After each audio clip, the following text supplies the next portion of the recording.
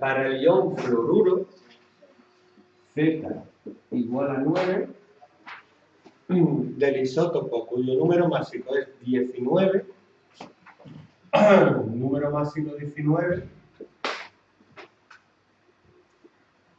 pregunta el número de protones, electrones y neutrones. Fluoruro es F-. 9, 19, este es el número de protones, el número de neutrones, ¿cuál sería? ¿Mm?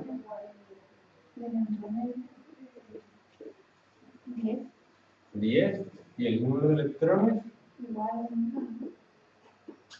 ¿Cómo? Igual de neutrones. ¿Por qué?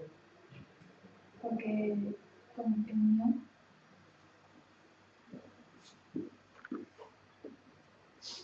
Tienes 9 más 1.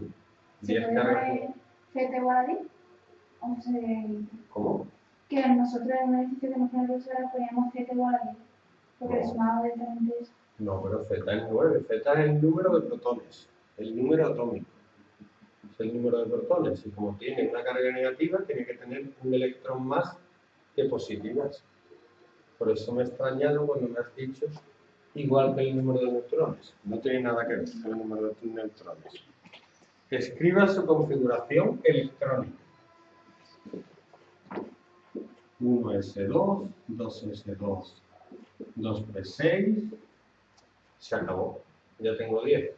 Sería 1S2, 2S2, 2P6. Estable porque la última capa está llena. Indique los valores de los números cuánticos de uno de los electrones externos. Yo los voy a escribir todos.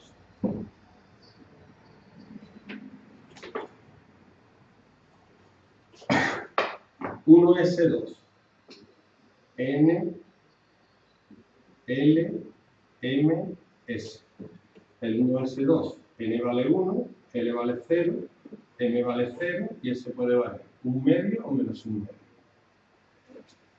Y para N igual a 2, L puede valer 0, M vale 0, aquí habría dos electrones, que serían los 2S2, Luego, cuando n vale 2, L también puede valer 1 y M puede valer desde menos 1 hasta 1.